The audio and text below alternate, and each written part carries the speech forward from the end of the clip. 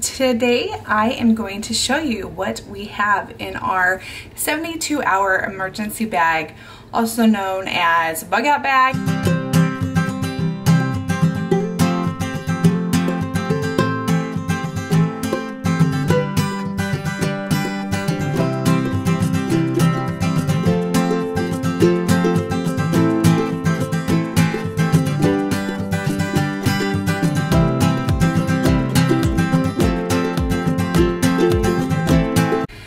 Hi, with Four Oaks, and today I am going to show you what we have in our 72 hour emergency bag, also known as bug out bag. What we like to call it is skedaddle sack. I can't say the word, skedaddle pack something like that. Skedaddle, we like the word skedaddle apparently. So I'm gonna go ahead and show you what's in ours. If you're like me, I need visuals. I love putting things together but sometimes I need visuals on certain things. I'm a major packer. Every time we go somewhere, I pack like insanely. I get it from my mom. So thank you, mom. Um, but I'm going to go ahead and show you what we have kind of put together right now for our skedaddle sacks bug out bags. I'd also like to mention we are not completely done with our bags. There's a few more things that I need to pick up. Uh, mainly, I want to get some rain pouches. Um, rain pouches? Yeah. Pouch? Poot? What is that thing called? Rain? Rain poncho. Ah, that's right. Rain poncho, not pout. What do I call it? Rain ponchos. And um, a couple other things to add to our bags. But for now, I'm just going to go ahead and get them started. And I'm going to take inventory of what we have so I know. And improve along the way. But it's important for me at this moment. We are in tornado season here in Oklahoma, and though things have been good so far, um, I want to get our packs ready as soon as possible. So I'm going to go ahead and get them ready now, and then just add to them when I can. Um, so what is a bug out bag? Um, 72 hour emergency bag, whatever you want to call it. Well, for us, it's just kind of for the unknown and for tornado season. I will go ahead and days that we possibly could have severe weather, tornadoes, our bags will be ready in, in a line for us to grab and leave if we need to. Um, we don't have a storm shelter here in this house. We installed one in the house that we had previously, but this house does not have one, nor have we been able to put one in yet. So that is concerning for this mom who does stay up all night long and watch the storms if they're even halfway close to us. So I want to go ahead and make sure we have our bags ready for us those nights. Um, we used to have everything down in our storm shelter and it was just kind of nice and easy, but since we don't have one, most likely if it's coming close to us, we're leaving. Like we're not gonna be staying here in this home. We don't have hallways, we don't have inner rooms, so we don't have that. So we will be leaving. That's what we will be doing. But it can mean different things for different people. It could be an earthquake, it could be, you know, hurricane. I mean, whatever it is, it is nice fires, right? Fires are a big thing right now, especially in areas that droughts are huge and fire season is horrible in certain places. So it's nice to have your bags ready if you have to go. That way you don't have to rush around and try and look for things and try to think last minute, what do we need? What do we need? What do we need? Um, I don't like living that way, truthfully. As someone who does live with anxiety, I don't want to have that feeling. I like the feeling of being my, my family is prepared and taken care of. So I'm going to go ahead and show you what we have for our bags so far. Okay, so my kitchen right now actually looks like a ginormous mess. I'm not even gonna show you farther over because I'm in the middle of canning. Here's my pressure canner down here and other things as well. I have like four or five things going on right now, but they're all important. They all need my attention. So um, this is kind of what our food is going to look like. I put the person's name on it and this is just day one. So um, Ryan, day one, plus jerky. So the jerky that I have in here, let me turn it around. Um, I don't know if you can see any better. It is vacuum sealed and it is for three days of food, mainly in the evening. Um, so when, after the first day, they say we got to open this up the first day. I have clips on here that I will probably put in my bag. I don't want to puncture my vacuum seal or anything else, but that way we can close them up and go. So each person has a bag. Our bags, oh, I can't really see them. Hello. Our bags are over there, and I'll get to our stuff in just a minute. But this is what it looks like. So that's day one. This is going to be day two for each person. So I have it kind of broken up. So I basically have this for breakfast, Premier Shake, and some Fig Bar and almonds. Lunch is going to be a beef stick. This, um, that's it bar. So fruits, apples and blueberries, and applesauce. Like we're trying to stay away from sugar as much as possible, even in an emergency situation. We're not perfect. These have sugar in them, but it's okay. And then for the evening, I have this, um, another one of these bars, and cashews, along with the beef jerky from the first day. Um, that kind of goes the same with everyone. It kind of got messed up here, but I kind of just have it set up for everyone. And then this is day three. So I have two Premier shakes here and, um, oh my, and I did put another, ooh, another, that's it for breakfast. One of those um, apples and strawberries. And then applesauce and peanuts. And I do have another beef stick here. And then the evening time, it will be, so this will be day three. It will be another fig bar, that's it bar, and almonds plus any beef jerky that we have left. And that is our day three um, food right here, and then our day two, and then I have day one in here. And basically, it's a Premier shake, um, and then I have applesauce, another that's it bar, beef stick, beef jerky, and um, cashews right there, and another fig bar. That's what that is right there. So that's what our bags look like. I'm going to go ahead and put everything else in bags um, and label them day two with our names and things like that. So that's just what we have for our food. I'm going to go ahead and show you what the boys are going to have in their bags for clothes and other things. So we have two changes of clothes in here, um, pants and shorts. Um, depends on how much I can fit in there. Well, we're going to see. Um, I do have a mask, not saying we're um, going to need it, but just in case, you know, fire season, I don't know, right? Who knows? Um, so a mask, I have some Pepto-Bismol in there in case there's an issue. Um, this right here, I'm to show you Ryan's because he doesn't have it in a case, is this, um, what are these things called, honey? Oh, a pocket tool that we got at Cabela's.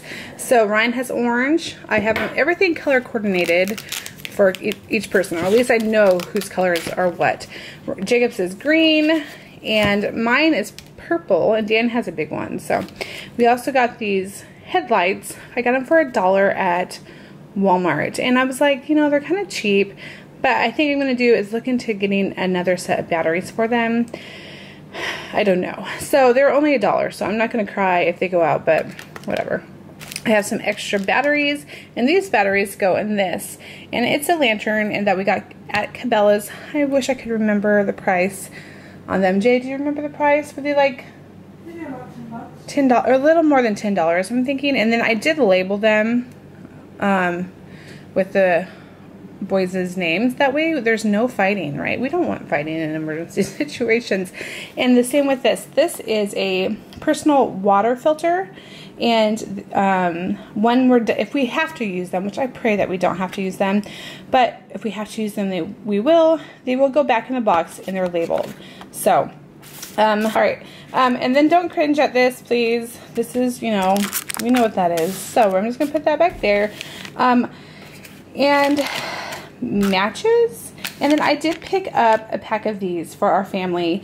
Um, there's eight of them in there and they're just glow sticks. And I know that it kind of seems, you know, interesting, right? Who wants glow sticks in their survival bag? Well, when you have kids, you want things to be fun as well in a stressful situation. You want peace and calm as much as possible. And you want some nor um, it to feel as normal as possible. So it's just something to kind of, you know, light up our bracelet or light up our wrist while you know we're out.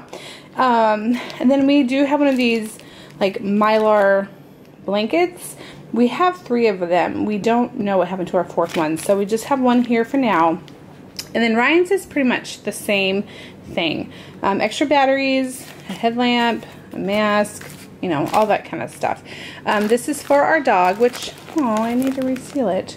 I must have a seal, which I've noticed lately on my food saver bags that they are not sealing, which I'm kind of disappointed because they're super expensive and all right, that's frustrating. But this is for our dog Oki, and it's three days worth of food for him. He does not eat a lot. He's a small dog, and it also has dog treats in there because he wants dog treats too. All right, so this is kind of Dan and I's bags as well. So this is where our day one bag of food is. This is not going, this is something I just came. Um, we have some flushable wipes. We do not use these personally in our home because they're horrible for your septic system and the sewer, but they're, I mean, they wash you, right? So we're gonna, we got some of those. I have in my bag. So Dan has pretty much the same thing as me in his bag. Just in case, for whatever reason, Dan and I get separated, um, we both have the same thing in each in each bag. So we have toothbrushes, like it already has the toothpaste in there, so you don't need water. I have my deodorant. Um, I'm a natural deodorant person, and I just put it in a little, um, what is this thing called? Just a little container that I had because um, my, it melted. It melted. it, it, this is what I had in my storm shelter, and it melted, so I just put it in a container. Um, some Tums and heartburn medicine because that is the worst. I have a purple headlamp. Oh, the boys also, um, batteries for my lantern, matches, waterproof matches, my water purifier, uh, one of those mylar blankets, something for cuts to stop bleeding, um, my pocket tool, which is purple, right? Yes, mine's purple. Migraine, um, pain reliever because you don't want to be stuck with a horrible headache. And if we don't have coffee, that might be the case. Some sunblock, some ibuprofen. I do have more sunblock here. I want to get a small container for all of us, but until I can get that, I'm just going to put this in my bag. We do have a whistle, some antibacterial wipes, a garbage bag, and here is my first aid kit. And that just obviously has normal stuff. Band-aids, wraps, you know, all that kind of normal stuff. So these are my gloves, and then this is my husband's stuff. So basically, it's the exact same stuff. He has his deodorant. Um, he has just Tylenol and ibuprofen. This is his sunblock, and we also have this sunblock for him as well. His first aid kit, um, you know, same stuff. These are his gloves right here. Um, I do have some wraps. I, I need to probably put this in my husband's. There, here's my clothes and my husband's clothes in there. And then water. Water is going to be so important. So we have these personal water filters, but you, yeah, let's just, you never know, right? Um, so we do have some water and it's not a lot of water because water is heavy and I might need to figure out something else but for now this is all I have. And in our water, if we want, I have, I picked up these sugar-free, low-calorie energy, um, like blueberry flavor in it. So it has caffeine, so it could help with a headache if you have a headache from lack of caffeine or coffee. But, so Dan and I both have that. The boys have these ones where they're true lemon for kids and they're blue raspberry and um, they like those. All right, so a couple things. Um, I got some sugar-free Jolly Ranchers. They're so obviously got to be careful with sugar-free candy, but I'm going to go ahead and just put one for each day in our um, meal bags because, you know, you want something sometimes. Like it goes back to that whole normalcy and comfort and just, you know, everything's okay in the world even though things might be a little chaotic.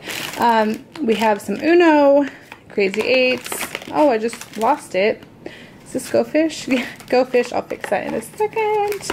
Um, another just normal cards and then extra um, uh, flashlights and batteries.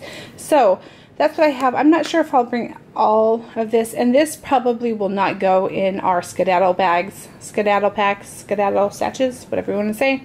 Um, I'll probably have another bag of this off to the side and it will be one of those things that I'm willing to leave if I have to. Like it doesn't need to come with us. Okay, so as I told you before, our bags are not complete, right? But um, that is something that we're going to continue to work on. But for now, we're going to have what we have available. And like you saw some things labeled, I label things. I love labels. I mean, that's part of the whole like anxiety. Like I have to have things labeled and it's kind of crazy. But it helps you be able to know whose is whose. So there is no fighting. There is no miscommunication. The last thing that you need when you are in a stressful, stressful situation is to have little things cause tension, right? So you need to have clear heads, um, kind hearts, and just be willing to help each other. And the last thing you need to do is fight over whose lantern is whose and whose water filter straw is whose. I mean, we're just not going to do that. So I did label things. Uh, the lighting's probably bad, but these are our backpacks. So this is Dan's, that's mine, Jay's, and Rye's, Rye's bag. I'm just going to use what we have so far. So we have two bags two bags that the boys already had and then I did pick up two for Dan and I because his backpack broke and I haven't had a backpack since pretty much high school or college. So, um, this is what we have. I will probably along the way try and get two more bags for the boys just because they do use their backpacks for things and I, they need to have them. But for now, I'm just going to have them ready. So for now, we're just going to use the backpacks that they have and then I will, when I can put it in our budget, I'll go ahead and grab a couple more for them. That way they have bags for their normal stuff and then we have bags for emergency situations. All right, that is it so far. I'm gonna go ahead and get our bags put together. I hope everything fits in it. So I got everything in our bags. The lighting is horrible right now, but the boys' bags are here and that stands in mine. I Mine was tough. I had to put my lantern, I unhooked it and I just hooked it on the side. um, I had to move things around. My husband's is right here on the side. I might hook his somewhere different. But that's where his is for now. Thanks, Ren. And then that's Jay's. And Ryan's. I don't know why yours would be heavier. They have the exact same things in them. I don't know. Why's Dad's? Daddy and Mommy's has more. Like we have more first aid and things like that. One thing I did not think about, and I don't know why I didn't think about this, is I did not get bug spray. Um, I know I have bug spray here in my house, but it's a big, you know, can of it, or I make up our own bug spray with essential oils. And I guess I could do that and just put in little, I don't know, we'll see. But I'll probably pick up some more bug spray here soon and put it in there. Anything else that you can think of? Camping! Oh, okay. That's what he's thinking of right now is camping because they're going camping, so. Um, okay, so a couple things that I did think about getting in our food supply was like bagged can of fish or bagged chicken. Um, I don't know. I, I think possibly I'm going to think about that and maybe grab a couple for one day. I've seen people, um, I know you can do things like, uh, you know, already made up Chef Boyardee, things like that, but we don't eat that food in this house. We don't like it. So I'm not going to buy stuff that we do not eat, what we don't like. Um, but I might possibly add some chicken, like shredded chicken to it. We'll see. But I did want to say that I just think that um, it's important to be prepared to have something for emergencies. We've all been in situations where either we lose power, um, there's fires, tornadoes, threats, hurricanes, right? It's important to have something available even for the unexpected. So as a mom, that's something that's important to me is to make sure that my family is well taken care of and prepared for whatever we can possibly think of to prepare for. So that is the purpose of this video is to kind of give ideas of what you could put in yours bug out bag, your skedaddle satch, whatever you want to call it, and just kind of maybe bring some peace and comfort to you as a mom and to your family, knowing that you have something available for them and for yourself to grab on the way out the door if a situation is not safe, right? If you have any suggestions, any kind of ideas that you can give to me. I know that there's so much more that you can add to these type of bags. I don't know if I will ever get there. We are just going to do what we can to be prepared. So if you have any suggestions or any helpful comments or tips, I would love to hear about them below. And once again, thanks for watching. And if you like these videos and you want to see more of them because they're kind of fun, right? Um, like and subscribe. Thanks for watching.